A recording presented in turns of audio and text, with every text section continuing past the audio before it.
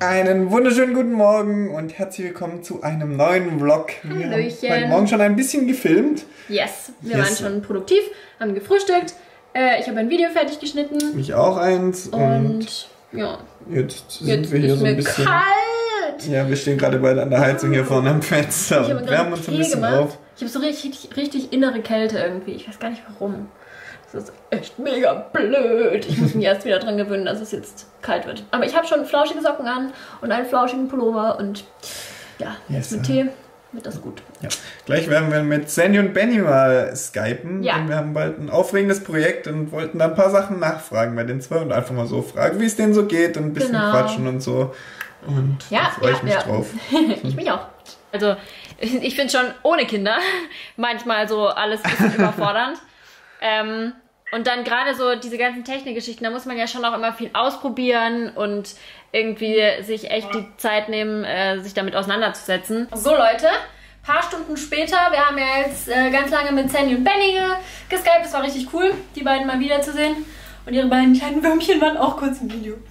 Die sind halt so süß mit ihren Speckibacken. Ja, und jetzt äh, haben wir einen ganz, ganz wichtigen Termin ähm, in einer Dreiviertelstunde. Aufregend. Und machen uns da jetzt auf den Weg. Und wir sind auch schon ein bisschen aufgeregt. Aber, also freudig aufgeregt, aber eben aufgeregt. Wir können euch jetzt noch nicht sagen, worum es geht. Es ist, ähm, es handelt sich um eine private Angelegenheit. Ihr werdet äh, auf jeden Fall erfahren, äh, was es damit auf sich hat. Nur eben jetzt noch nicht zum jetzigen Zeitpunkt. Ähm, Genau, weil wir Aber nur- noch nichts Genaues sagen können. Genau, aber so kurzes Update, äh, dass wir jetzt unterwegs sind. Und dann, ja, ah, meine Mama kommt heute Abend. Ich wollte gerade sagen, ja, dann gucken wir mal, was heute noch passiert. Aber meine Mama kommt mich ja besuchen. Ähm, und wir gehen cool. essen und machen Mama-Tochter-Abend. Da freue ich mich auch schon drauf. Wir sind wieder zurück, wie ihr sehen könnt, und auch direkt wieder in gemütlichen Klamotten. Äh, und wir haben eben noch ein Paket abgeholt. Ähm, Mach auf! Geschenke! und das ist von NYX. Und ich habe schon, ich muss gestehen, ich habe auf Insta-Story schon ein paar Unboxings angeschaut. Also ich weiß schon ein bisschen, was da drin sein wird. Aber schauen wir doch mal rein. Ich find's super witzig. Die meisten Pakete kriegt der Marie. Ich krieg nur ganz selten irgendwas. Aber ich freue mich schon genauso wie Marie, auch wenn es nur Schminke ist und ich das überhaupt nicht benutzen kann. Aber trotzdem ist irgendwie dieses Auspackerlebnis, das macht mich auch glücklich, obwohl ich damit eigentlich nicht so viel anfangen kann. Du bist so süß. Alex immer so, los, pack jetzt mal aus. Pack mal aus. Darf ich dabei sein, wenn du es auspackst? Ja! Ah ja, hm, ah, was ist das? Aha. Sehr süß. Und dann gucke ich mir mal die Verpackung an. Geht's, los geht's! So, was sagst du hier zur Verpackung? Ja, es ist hoher Material. What? Wow! Wow, Alter, nix, seid ihr völlig verrückt geworden? Wow! Wow. Ich bade in Schminke. Hallo. Was sind das für schöne Sachen? Vor allem, ich habe ja nur so wenig von nix. Also ich habe nur richtig wenig. Ähm, ich habe, um ehrlich zu sein, von ganz früher noch so eine Jumbo Eye Pencil. Ich weiß ehrlich gesagt nicht mal mehr, ob die noch hergestellt werden. Und ich habe so ein paar Lippenprodukte und die neuen Concealer Stifte. Also die aussehen wie so normale Stifte, die man auch spitzen kann. Und ansonsten habe ich nichts. Wollen wir es mal einfach ausleeren oder willst du alles rausholen? Du kannst Ja, doch auf die Couch wohin? leeren. Oder auf dem Boden. Weil so hat man irgendwie auch keinen Überblick. Als ob du einen Überblick hast, wenn ich es raus tue. Natürlich. Weißt du doch, was, was ist? ja, ich glaube schon. Was ist das? Ja, das, ich muss ja sehen, was vorne drauf steht. Ich kann ja nicht wissen, was es ist. Primer. Ich würde euch so gerne Alex Gesicht zeigen. Ich sag jetzt gleich, für was es ist. das ist eine Grundierung, die man hier unten hinmacht, ein Primer. So. Und warum ist der grün? Das ist nur die Verpackung, damit man nicht denkt, das ist irgendwas Besseres. Irgendwie ein Make-up oder sowas. Was ist? Auch ein Primer. Ah, shit. Und warum ist der dann orange? Das, da bin ich überfragt, da steht genau das gleiche drauf. Scheiße. Und auf dem auch. Denk Alles mal, Space. denk mal an die Farblehre. Okay. Was hat das damit zu tun? RGB kenne ich und was, was für eine Farblehre? Nein, diesen, diesen Kreis. Ja. Naja, zu was ist grün die Komplementärfarbe? Blau? Keine Ahnung. Nein, Weiß nicht, was gegenüber ist. rot. Rot. Ja? Zudem lila. Ja? Nee, oder? Doch. Ist orange, ist nicht eher gelb, ist so dazwischen, glaube ich. Lila-blau halt irgendwie, oder sowas. Genau, also eigentlich benutzt man grün, um Rötungen abzudecken und ähm, so ein orange-gelb benutzt man, um lila zum Beispiel Augenschatten oder sowas abzudecken. Wow! Und das ist dann wirklich Farbe orange. Und dann kommt. Make-up drüber. Ist es Farbe orange Ja. irgendwie? Wer schminkt sich? Wer macht irgendwas Grünes in sein Gesicht? Ja, da kommt Make-up dann drüber, das neutralisiert unten drunter. Wow. Das habe ich noch nie gesehen, dass du sowas benutzt. Nee, mache ich auch nicht. Da ist leider eins kaputt gegangen. Das ist hier aus einem Pfännchen rausgefallen und jetzt sind da überall Krümel drin. Und hier sehen wir ein gutes Beispiel, warum es Verpackungstechnik geben muss, weil sowas darf eigentlich bei einer E-Commerce-Verpackung nicht passieren. Das heißt, in Zukunft muss man eigentlich die ganzen Schmink- und Beauty-Produkte noch viel besser irgendwie anpassen, weil so eine Palette ist ja echt mega empfindlich. Wenn die so ein bisschen Stöße abkriegt, dann fallen natürlich irgendwie diese Teile raus. Das ist echt krass, wenn man so mal drüber nachdenkt.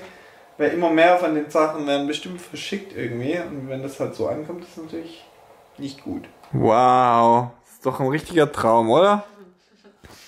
Ja, ich würde am liebsten jetzt alles ausprobieren, aber dann muss ich es ja alles anbrechen und dann will ich es nicht mehr verlosen. Ich weiß nicht, wie ist eure Meinung dazu? Zu so, wenn man, äh, wenn man das schon benutzt hat und das dann verlost? Weil dann möchte ich das lieber Das finde ich nicht Familie gut. und so schenken oder Bekannten oder Freunden oder Aber was. du willst doch jetzt nicht alles Ich würde ausprobieren. ne? gerne alles ausprobieren. Nee, ich probiere natürlich nicht alles aus, aber ich würde gerne alles ausprobieren. Ja, aber bei diesen Paletten ist doch zum Beispiel Quatsch, das alles auszuprobieren. Da kannst du eine ausprobieren und Ja, die aber Farben weißt du ja. Meine Zuschauer wissen, ich bin Team Lippenfarbe. Ich liebe Lippensachen. Und da, guck mal, das sind alles Lippensachen. Die auch noch. Würde Wow. gerne alles ausprobieren. Du kannst ja gucken, was für Farben du schon hast. Das, Schatz, das ist was anderes. Das ist nicht einfach nur, welche Farbe ich schon habe. Ich habe mit Sicherheit schon ein Rot und ich habe auch schon ein Pink. Aber darum geht es nicht, weil da ist auch noch die Konsistenz wichtig und das Finish und der Auftrag und die Haltbarkeit. Ja, dann test doch gleich mal ein. Ja. Was wird hier gepackt? Pakete. Und für wen? Ja. Eventuell für Verlosungen, munkelt man. Oh, Weiß ja nicht, ich weiß ja nicht. wow. Wow. Nein, jetzt können wir das alles so richtig schön hier einpacken. Ich glaube, ich nehme auch teil an der Verlosung. Du nimmst teil an der Verlosung. Ja, ja. Und was willst du gewinnen? Das Paket. Okay. Ihr lieben Leute, jetzt wollte ich gerade trainieren gehen und dann hat Mama, Mama, Mama, Mama Marie hat angerufen. Mama Marie hat angerufen, dass sie mit dem qualmenden Auto auf dem Standstreifen steht, denn sie war gerade auf dem Weg hier zu uns, weil Marie und ihre Mama gehen heute noch was essen. Also und wollten wir eigentlich, ja. aber jetzt hat das Auto das eine Auto. Panne und das Kühlwasser war irgendwie ganz heiß und dann hat sie angehalten und dann hat es geraucht aus der Motorhaube und jetzt steht sie mit Warnweste hinter der Leitplanke und sie hat gemeint, ich habe dir extra einen Strauß Rosen mitgebracht, jetzt stehe ich hier mit meiner Tasche Oh und dem nein, Strauß Rosen so hinter der so Leitplanke. schlimm klingt das. Tut mir so leid. Aber jetzt weiß ich noch nicht genau, jetzt ruft sie den ADAC an und jetzt warten wir mal und entweder die können das Problem ganz schnell lösen, I doubt it, oder Sie- vielleicht fahre ich noch nach Karlsruhe, was jetzt halt auch schon 18.40 Uhr, ne? Bis ich dann halt in Karlsruhe bin, ist halt auf jeden Fall nicht vor 8, halb Ja, 9. aber deine Mami muss halt auch nach Karlsruhe eigentlich.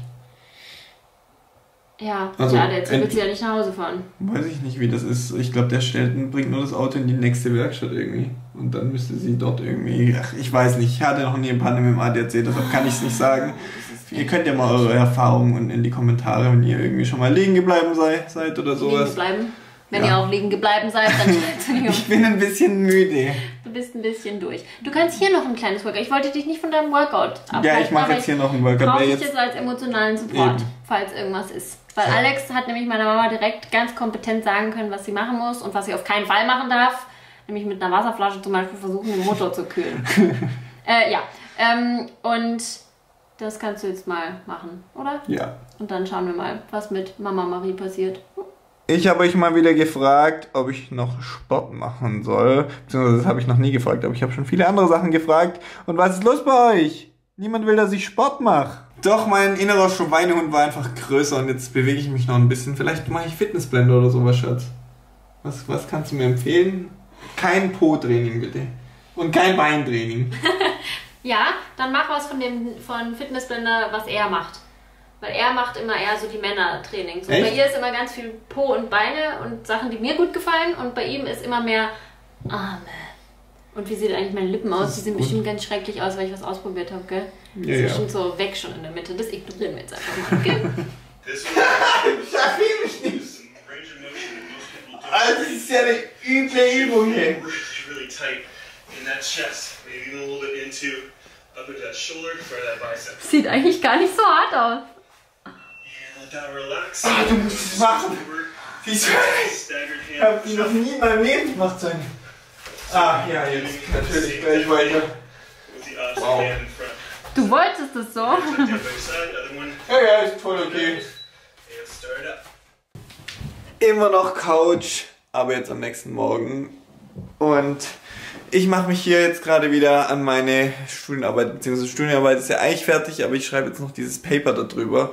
Und das ist ja dann ein Teil meiner Bachelorarbeit. Und oh, Schreiben ist einfach nicht so mein Ding. Vor allem, ich weiß nicht, ich glaube, das größte Problem ist einfach, dass ich so viele andere Sachen machen will und auch ganz viele Sachen mache und sowas. Und dann denke ich immer die ganze Zeit an die anderen Sachen und mache die so zwischen rein und dann kann ich mich gar nicht so richtig auf das Schreiben konzentrieren. Ich weiß nicht, ob es euch auch schon mal so gegangen ist. Ihr könnt mir eure Tipps irgendwie geben, wenn es euch auch schon mal so gegangen ist, wie ihr das schafft, irgendwie das so sagen. Okay, jetzt zwei Stunden wirklich schreiben, weil die Zeit habe ich eigentlich, aber irgendwie bin ich dann mit dem Kopf noch nicht ganz beim Schreiben und ach, schwierig. Und so sieht das Ganze bei mir aus. Übrigens sitze ich immer hier jetzt so am Fenster, weil das unser hellster Raum einfach in der Wohnung ist. Man sich hier irgendwie am wohlsten fühlt und im Büro ist einfach dunkel, deshalb sitzen wir irgendwie beide jetzt immer im Wohnzimmer. Eigentlich echt schlimm, Ja. dass wir jetzt unser Büro immer hier so rüber verlegt haben.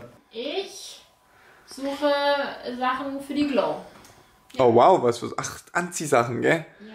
Das ist natürlich auch part of the job halt, gell? Ich brauche Schuss. Schuss, Schuss, Schuss, die nicht aussehen, als würde ich drin leben. So, ja. Das verstehe ich jetzt nicht. Nein, so ausgelatscht halt. Ach so, okay. Wir hatten den ganzen Tag ein richtig, richtig cooles Meeting oder keine Ahnung, was man sagen soll. Auf jeden Fall hatten wir Besuch hier und es war sehr, sehr cool. Da könnt ihr euch auch auf die Zukunft freuen. Da werden wir nämlich richtig coole Sachen zusammen machen. Ja. Können wir noch nicht viel sagen, aber auf jeden Fall im November wisst ihr dann mehr. Da werdet ihr auf jeden Fall auch mehr sehen. Es wird sehr, sehr Genau. cool. Es wird sehr aufregend. Das ist ähm, auf jeden Fall so mal richtig serious shit. Ja. Ähm, ja, und das war jetzt sehr erfolgreich. Jetzt waren wir gerade noch was essen. Jetzt ist mittlerweile auch schon äh, 20 vor 5. Also der Tag ging echt richtig flott rum.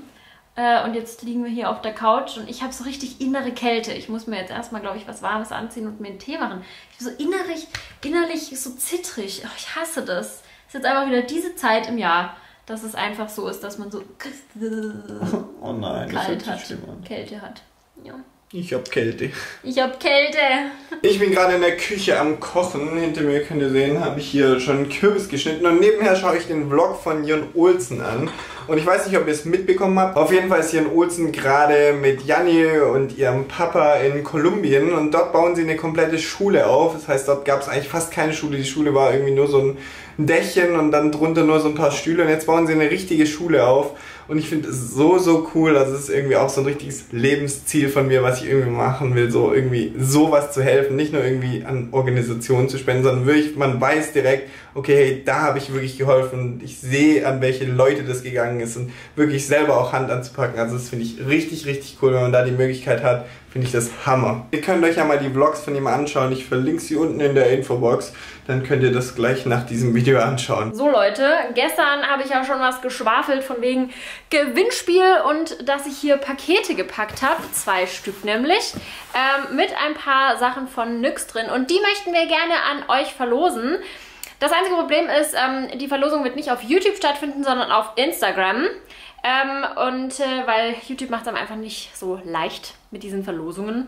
Ähm, das ist so ein bisschen schwierig, dann die Menschen zu kontaktieren. Und außerdem äh, hat YouTube auch irgendwie so komische Richtlinien, was Gewinnspiele angeht. Und das ist da alles sehr, sehr kompliziert und sehr, sehr bescheuert. Und deswegen machen wir das auf Instagram. Ähm, einmal postet Alex dieses Bild, ich poste dieses Bild und da müsst ihr drunter kommentieren. Am besten schreibt ihr uns dort in die Kommentare, was euer Lieblingsessen ist. Dann können wir nämlich auch direkt so ein bisschen sehen, wer hat den Vlog geschaut und wer ist einfach nur auf Instagram unterwegs. Und ihr müsst unserem Profil natürlich folgen. Ähm, und euer Profil öffentlich haben, damit wir auch sehen können, dass ihr uns folgt. Das ist nämlich ganz oft das Problem, wenn ich äh, einen Kommentar unter einem Foto als oder so unter einem Gewinnspiel ausgewählt habe und dann auf das Profil gehe, um zu sehen, ob die Person auch wirklich mir folgt, dann kann ich das nicht sehen, wenn der Pri äh, Account privat ist und dann kann diese Person leider nicht gewinnen. Das war jetzt schon öfter mal der Fall. Und jetzt zeige ich euch noch ganz kurz, was wir hier reingepackt haben. Dann könnt ihr entscheiden, ob ihr das überhaupt gewinnen möchtet. Die Produkte sind die gleichen in diesen beiden ähm, Paketen, nur äh, unterscheiden sich so ein bisschen in den Farben. Ähm, also wir haben hier äh, Puder, ähm, da ist so ein, ein, was ist das hier überhaupt? Ein Illuminator, also ich, ah, hier, die Französisch läuft bei mir, äh, das ist so ein Strobing Stick, also so ein Highlighter Stick, dann ähm, ist hier außerdem so ein Lippending drin, äh, nochmal was für die Lippen, äh, nochmal was für die Lippen, nochmal was für die Lippen, ein Pigment, äh, eine Lidschattenpalette, eine kleine Blush-Palette. Und das ist auch noch eine Contouring-Palette. Und das gleiche gibt es natürlich auch nochmal in dem anderen Paket, nur eben wie gesagt in einer ganz minimal anderen Farbauswahl. Das sind so leicht andere Farben, aber ist alles trotzdem richtig, richtig schön. Und ich hoffe sehr, dass ihr euch freut und zahlreich auf Instagram teilnimmt. Und wir haben jetzt nicht drüber gesprochen, wie lange das Gewinnspiel laufen wird. Also ich würde einfach mal sagen, das läuft jetzt auf jeden Fall mal eine Woche, damit ähm, die Leute das hier auch in dem Vlog gesehen haben. Äh, und dann werden wir euch per Insta Direct Message kontaktieren. Und dann werden wir euch das Paket schicken. Ja, und ich drücke euch allen ganz fest die Daumen. So, und jetzt schaue ich mal, was das Futter macht. Ich habe nämlich gerade noch ein Video fertig machen müssen. Also ich habe meinen Cover gepackt und Video fertig gemacht. Und what about food? Fast fertig. Geil. Lecker. It's time to say goodbye. Goodbye, goodbye, goodbye. Wir hoffen, euch hat der Vlog gefallen und Ja. dann sehen wir uns auf jeden Fall am Sonntag. Ja. Sonntag. Sonntag wieder. Sonntagsfragen. Sonntag. Am Sonntag um 11 sind Sonntagsfragen. Wir müssen mal noch schauen, wie wir das machen, weil ich jetzt die nächsten drei Tage weg bin. Ähm, entweder- Eventuell gibt es einen Livestream. Genau, eventuell gibt es einen Livestream um 11. Ansonsten, äh, ja, gibt es die ganz normal. normalen Sonntagsfragen. Und sonst sehen wir uns am Montag um 18 Uhr wieder zum nächsten normalen Vlog. Wünsche euch ein schönes Wochenende. Und Schönen Tag, bis Abend, dann. Nacht. Und bis dann. Tschüss. Tschüss. Hiu. Auf jeden Fall ist der gerade in. Wo ist er denn? Äh,